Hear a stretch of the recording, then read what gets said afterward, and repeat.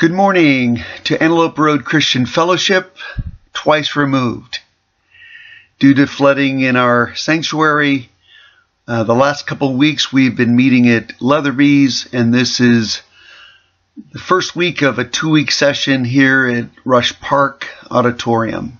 Welcome. I'm sure that Pastor Greg, uh, one of the reasons why he wanted me to teach today is because he knew that I'd be finished before 3:30 when the Super Bowl began. I do have a vested interest, as some of you also might have. So welcome. Uh, today we are uh, working through a series that said, "Will the real Jesus please stand up?" And this is the fourth section, and uh, we're going through the fifth chapter of the Gospel of John. One of the things that we're really pleased about when we teach the Gospel of John is that John, at the end of the book, actually speaks to us um, to what the actual purpose of the gospel is. Like, what? Why did he write the gospel? And we actually find it in John chapter 20, verse 31, where he says, "But these things are are written to you." that you may continue to believe that Jesus is the, is the Messiah, the Son of God, and that by believing in him, you will have life by the power of his name. So, if we're not presenting the gospel that, that clearly states that Jesus is the Messiah, the Son of God, and our purpose is by believing in this, you would have eternal life, then we're missing the point. And any Christian church that doesn't come to that conclusion is missing the point. So today we're just pleased to, to speak to the gospel that says this is why we're doing it. We want to be very clear as John is clear. And so, and, and that's John 5 or John uh, 20 verse 31. Uh, today we're going to be reading uh, and and I I have notes there, and in the sermon notes I actually uh, filled in the blanks there because I didn't want you to miss it. I underlined it and I filled it in because I don't want you to put any other message into this, right? Um, and, and the uh, the the next thing in my assignment, um, I get to read uh, in, in our study will be on John chapter 5, verse 31 through 36. But it's in the midst of a di- discourse. And so we really want to um, look at the context so that we can understand it. And, and I'd like to start reading in John chapter uh, 5, verse 18.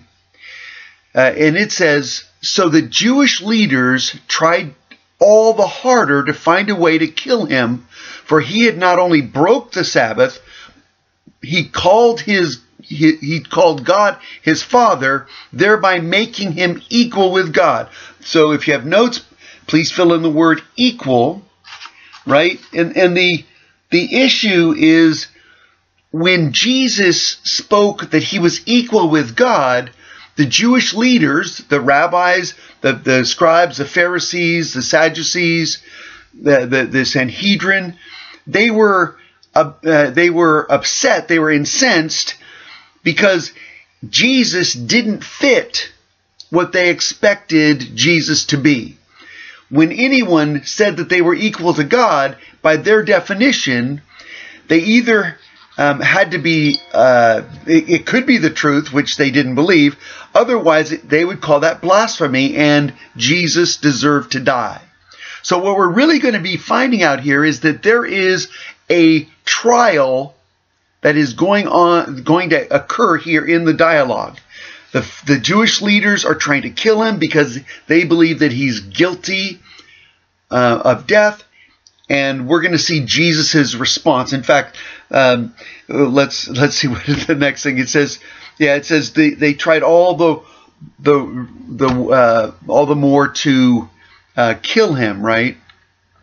Uh, and and we're going to find that Jesus starts by saying, "Let me explain to you." So he's giving a defense, and, and let me just you know, in in the fact that Jesus explained, he this is a uh, first of all, it's a it's a different sort of conversation. This section from verse 18 through the end of the chapter is so different than most of the biblical gospel teaching. Most of the time, Jesus is speaking to the, the, the general public and he's speaking about agriculture and farming and shepherding, uh, house building, uh, just, just fishing. He's dealing with, you know, common everyday occurrences. And, and so he's trying to meet and deal with things that the common folks would understand. In this context, we're seeing something totally different. We're, what we're seeing here is that Jesus is speaking to Jewish leaders, the rabbis, so he's actually using a rabbinical approach. He's talking about theology. He's saying, let me tell you the deeper meaning and the depth of who God is. He's actually designing a teaching for the teachers. So that's what he's doing here and and he goes into explain a, a, a few certain things that um, don't make the teachers very easy intellectually, and and I'm I'm just going to go through them. It's already been uh, expressed in the, the last three sermons, so I, I don't want to overdo it, but I, I just want to tell you some of the things that Jesus says from verse 18 uh, through 31. He says that the Son does what the Father does.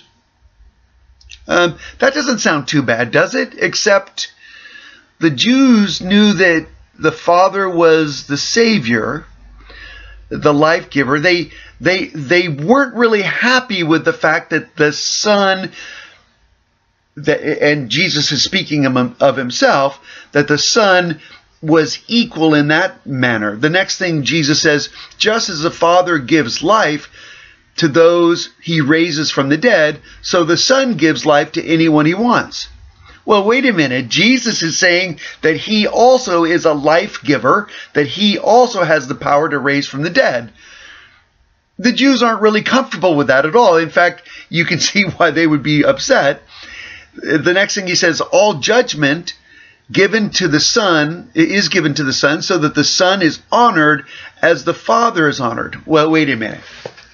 First of all, we have to understand that how the Jews honored the Father is that they didn't even speak his name out loud. They were they honored Yahweh so much that they don't they didn't even spell out the name. They just used code letters. Right? You know, it's like FBI. We don't want to say Federal Bureau of uh, Investigation. No, we, we, they just use codes. They, they honored the Father's name so much that they didn't even want to speak the name. And now Jesus is saying that he needs to be and should be honored in the same level. Man, they are really having a problem with that. The next thing he says, whoever hears my word and believes me believes him, excuse me, who sent me shall have eternal life. All of a sudden, Jesus is critical in the belief of Jesus and in Jesus and what he did is critical to eternal life. Man, they're losing their gourd right there, right? But these are the things Jesus is speaking to the rabbis, to the teachers. And another thing, the Father has life in himself and he has granted the same life giving power to the Son. Again, setting himself equal to the Father. And the last, the dead will hear the voice of the Son of God, and those who hear will live. So we see that Jesus is, is just being very clear to these Jewish leaders, to the teachers, that he is the Christ. He is the Messiah, which is the same word. Messiah is the Old Testament word. Christ is the New Testament word for Messiah. And so he is the Christ. And he says, believing in me will give you eternal life the Jewish leaders could not be any more convinced that Jesus needed to die at that point. And so Jesus, we see in starting in verse 31, where Jesus starts his defense. So we have a testimony for the accused. Notice what he says, and I'm going to read the the um, the first. In fact, I'll read the the uh, whole scripture, and it says, "If I were to, to testify on my own behalf, my testimony would not be valid, but." But someone else is also testifying about me, and I assure you that everything he says about me is true. In fact, you sent investigators to listen to John the Baptist, and his testimony about me was true. Of course, I have no need of human witnesses, but I say these things so that you might be saved. John was like a burning and shining lamp, and you were excited for a while about his message. But I have a greater witness than John, my teachings and my miracles. And the Father gave me these works to accomplish, and they prove that He sent me. And so, what we see here is that Jesus starts speaking to these Jewish leaders about testimony. He starts giving um, testimonies, and and from our point of view, it's like you know from the the Greek mindset, which we all have, or most of us have, um, we're looking at like, what is Jesus doing? And and so we sort of need to kind of, um, you know, rethink or or kind of get a, a different perspective. So let let me kind of work it this way. Um, from the Jewish perspective, their training was that if anyone was guilty or brought before a judge, uh, there was a need for uh, two. Well, let me let me back up a little bit. Let's let's go to first uh, verse thirty-one. Uh, Jesus starts uh, by saying, "Let me get to it. Let me get it. If I were to testify on my own behalf, my testimony would not be valid." So you can write in the word "valid." Personal testimony is not valid, right?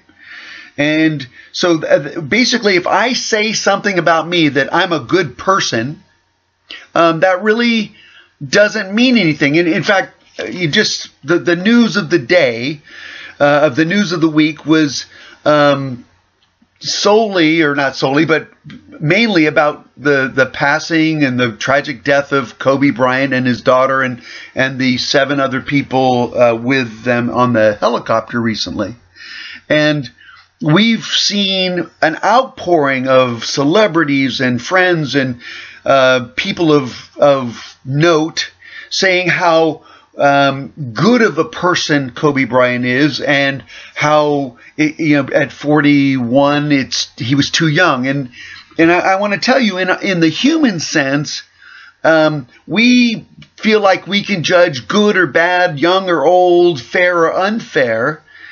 But that doesn't equate with what God thinks is important in the sense that um, Kobe being a good man uh, may be a public opinion. Not, I know not all, all people agree with that, but him being a good man does not equate with God's favor and God's approval necessarily. He may be a good man by worldly standards, and and people, you know, what we see is people have come out and said, "This is what I think about Kobe." And what I want to look at is like, what does God think about us, right? That's the important part. And, and, Jesus really says, hey, listen, if I testify on my own behalf, my testimony is valid. And well, Jesus wouldn't be lying, but it, testifying about yourself or having a, a, a good opinion of yourself by itself is not enough. And, and so let's sort of take a look. Um, there is a principle inside of the depth of Judaism that's transferred over uh, to Christianity, and it's the principle of two or three witnesses. In Deuteronomy uh, chapter 19, we see it says that a single witness shall not suffice against a person for a crime or for any wrong in connection with any offense that he has committed. only on the evidence of two or three witnesses shall a charge be established. The, the requirement of two or three witnesses. In Hebrews 10 28, it repeats that. So we have an Old Testament reference, New Testament. It says, anyone who has set aside the law of Moses dies without mercy on the evidence of two or three witnesses. So Jesus knows that, and so he's speaking to Jewish leaders and teachers who definitely live by that code inside of the Old Testament, right? So that that's a that's a big deal, okay? Um, and so so Jesus is going to mount a defense with three witnesses, right? And so let's take a look at at uh, Jesus's uh, response. Again, in verse 30, uh, 32, but someone else has, is also testifying about me, then I assure you that everything he says about me is true. Now he's talking about his father. He's talking about the God the Father. The Father has testified about him, and he's not going to mention him right now, but but the Father's word for him is true. In fact, and then he goes to in verse 33. He said, "In fact, you sent investigators to listen to John the Baptist." and his testi- testimony about me was true. Uh, of course, I have no need for human witnesses. I'll pause right there. So let's take a look at what that testimony of John the Baptist is all about. Well, let's let's kind of finish this one. He says, "Of course, I have no need of human witnesses, but I say these things so you might be saved." So uh, you can fill that in in the fill-in sheet. That you might be saved is sort of important, right? We're going to go back to that a little bit. But if you go to John chapter 1, earlier in the book, verse 19 through 34, the, the uh, scripture says this This was John's testimony when the Jewish leaders sent priests and temple assistants from Jerusalem to ask John, Who are you?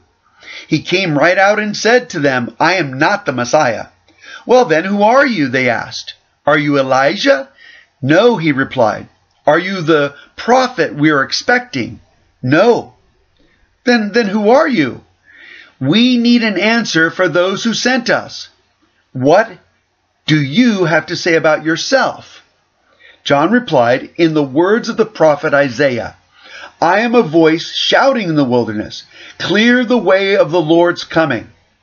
Then the Pharisees who had been sent asked him, If you aren't the Messiah or Elijah or the prophet, what right do you have to baptize? John told them, I baptize with water, but right here in the crowd is someone you do not recognize. Through his ministry, Shimi, though his ministry follow mine, I am not even worthy to be his slave and, and untie the straps of his sandals. This encounter took place in Bethany, an east, an area east of the Jordan River where John was baptizing. The next day, John saw Jesus coming toward him and said, Look, the Lamb of God who takes away the sin of the world. He is the one I was talking about when I said, A man is coming after me who is far greater than I. I am for he existed long before me. I did not recognize him as the Messiah, but I have been baptizing with water so that he might be revealed to Israel. Then John testified, I saw the Holy Spirit descending like a dove from heaven and resting upon him. I didn't know he was the one, but when God sent me to baptize with water, he told me, the one on whom you see the Spirit descend and rest in is the one who will baptize with the Holy Spirit. I saw this happen to Jesus, so I testify that he is the chosen one of God. What? John the Baptist gave a sterling testimony of who Jesus was. He even said, at first I didn't see it, and then I saw it, right? He, he, he actually says, listen, I, I saw something that I wasn't expecting, right? So why is it important that Jesus say that John the Baptist was someone who could testify and did testify on my account? Well, here's the deal. The Jewish leaders knew who John the Baptist was. First of all, he was the son of Zacharias, uh, a, a temple uh, high priest. Uh, they knew the story of John the Baptist's birth. It was probably something that was a bit legendary. They knew that the birth of John the Baptist uh, also uh, that, that John the Baptist was a Nazarite, which means he was set apart. He didn't drink wine, didn't eat grapes. Uh, he kept away from dead things. He, he was a Nazarite. He was set apart and holy. And then, then as he matured, and he's slightly older than Jesus, so he's in, he's in his early 30s um, or 30ish. Um, all of a sudden, he begins a ministry uh, telling the people of Israel that the Messiah is on his way to get your house in order, to get your life in order, to come and be baptized and repent from your sins. And the, the, the Jewish leaders, the people of Israel, you know, they, they rushed to John. They, they wanted the Messiah so badly and they knew that they needed to, to get right before him that they fully believed in John the Baptist. They saw him as a prophet. They saw him as a voice from heaven, a voice from God to them. So one of the reasons why Jesus uses John was because the Jews, the Jewish leaders, saw him as an authority from God. So he was a valid, legitimate um, witness of who Jesus was, right? And so you know, one of the things in verse 34, he says that I don't need John the Baptist, right? Of course, I have no need of human witnesses, not me, but I say these things so you might be saved. Now, some of you might have this little um, reaction to the fact of human witnesses are used and affect our salvation. Now, I'm not disagreeing with or saying a scriptural premise because we know that it's by grace that we've been saved through faith. But then what is Jesus saying? Why are human witnesses important so that I might be saved? And I, I believe part of the thing that Jesus speaks of, and, and we'll see in the next thing. He says, John was like, this is verse 35, John was like a burning and shining lamp, and you were excited for his message. You were excited for a while about his message. And, and I want to tell you that I believe that there are people in your life that are a lamp, not the source of light, but the lamp by which you get excited about the things of God.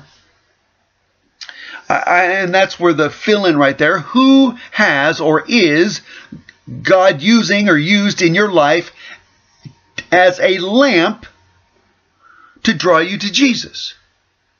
And I believe that everyone who has a or most everyone, I can't say everyone, most everyone who has a personal relationship with Jesus Christ is drawn because of another human being, whether that's your parents or siblings or children or grandchildren. Um, it, it, might be a friend, a coworker, a, a co-student. Uh, for me, I remember the people, and it was more than one, the people in my life that that uh, just either represented a, a relationship with Jesus or specifically open the Word of God to me. And without them physically being there, uh, I might not have known. And I, I, I, more than that, I believe that that the human connection is what God and how God chooses to spread His gospel.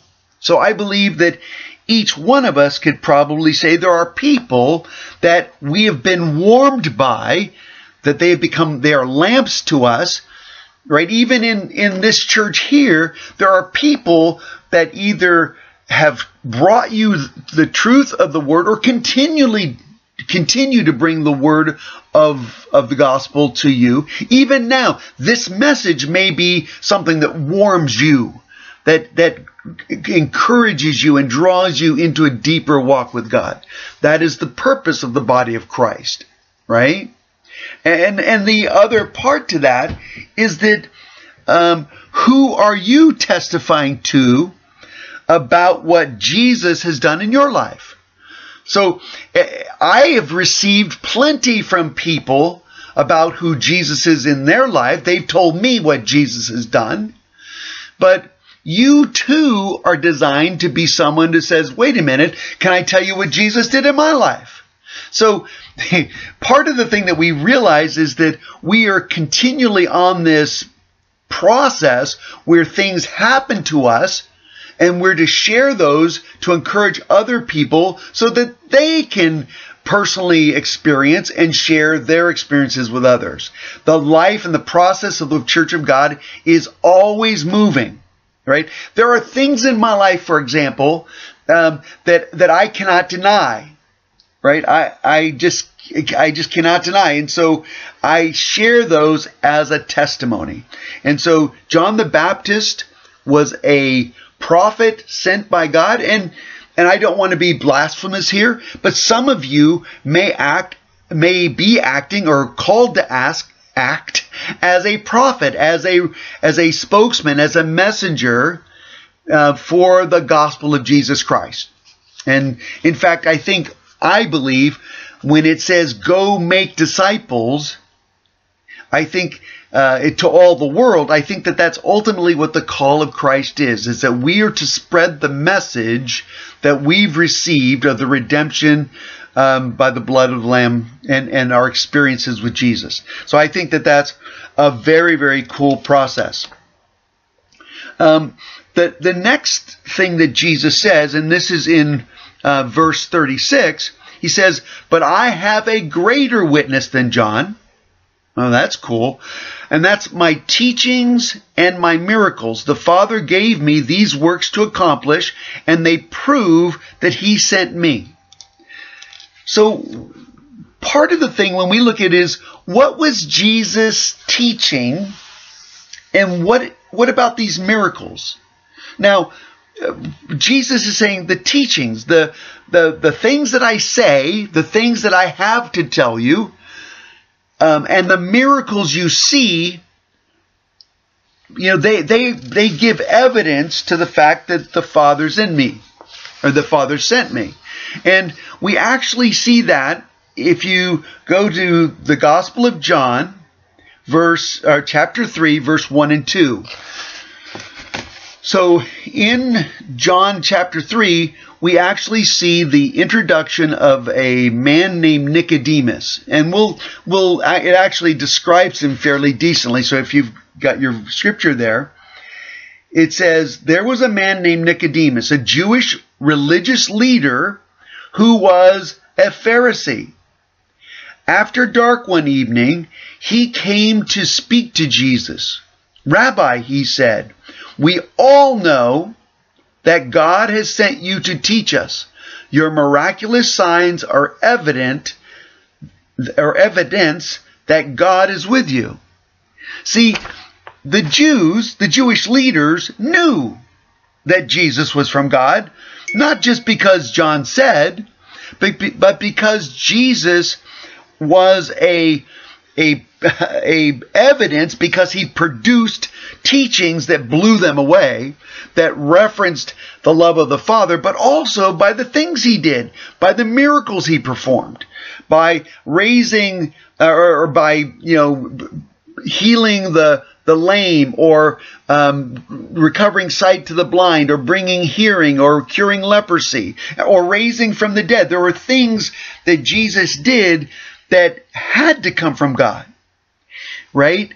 And and I think that part of the thing that I, I want to encourage us is that um, you know what and this is in your notes what revelations or miracles have you experienced that have come from the father what what statements, what scriptural, it could be a scriptural verse, it could be from a mess, uh, from a, a, a sermon or a message or a podcast.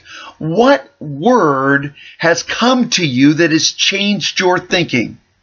And I, I, I have testimony in my life where, where I've read the Bible or the, you know, and the, the scripture itself has changed my thinking. I cannot undo that. Right? And, and I've also experienced miracles where I know that there, and, and that's the second part, you know, that there are, there are things in my life, miracles where, um, I can't, I can't explain it except God did it.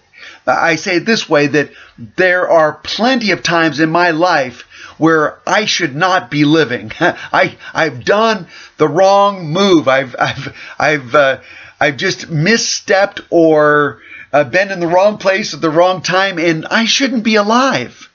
Um, there there was one time I've shared with some that that I was on a road uh, uh, going up to Oregon, and uh, it was icy. We were going on a ski trip, and I have my wife and all my children and my mother-in-law in our Aerostar, and we we start spinning. It was my fault that we started spinning, but we started spinning up this up the road is a 18 wheeler coming in the opposite direction and and we start spinning and while we're spinning we're singing before we started spinning we're, we're singing the lord told noah to build him an arky arky, an old children's song. We're just singing in the car, and all of a sudden my car starts spinning slowly, seemingly forever. And I just remember the Lord speaking me to me very directly, do not touch the wheel. And I can tell you I didn't touch the wheel. I knew that if I touched the wheel, I was I was done with. I was done for, and me and my family. And it came to the point where we were almost fully straight, not quite. And the Lord said, push the brakes. And I pushed the brakes and we, we slid safely into a, a snow pile to the right of the road. See, I can't unknow that. I, I can't change the narrative. Um, I I was the problem. I shifted gears in the midst silliness because of my my lack of understanding of everything. But but God was showing me something that a lot of times in my life, I don't understand why things happen. And I, I find myself fully relying on God's power and strength. And so I, I look at that, right? Um, I, I have to yield to the fact of that. But, but we see also that, see, we, we see another thing in the Gospel of Luke 7 18 through 22, we see Jesus um, sort of reassuring John the Baptist even. Uh, and, and, so, and starting in verse 18, Luke 7, 18 through 22 says this. The disciples of John the Baptist told John about everything Jesus was doing. So John called two of his, his disciples and sent them to the Lord to ask him, Are you the Messiah? we've been expecting, or should we keep looking for someone else? Right? John the Baptist was just like everyone else. He, he had a witness, he saw it, but, but then he didn't know because he didn't know what to expect either. Verse 20 says, John's two disciples found Jesus and said to him, John the Baptist sent us. Are you the Messiah we've been expecting, or should we keep looking for someone else? At that very time, Jesus cured many people of their diseases, illnesses, and evil spirits, and he restored sight to many who were blind. Then he told John's disciple, disciples, go back to John and tell him that you have seen and heard the blind see, the lame walk, those with leprosy are cured, the deaf hear, the dead are raised to life, and the good news is being preached to the poor. Right?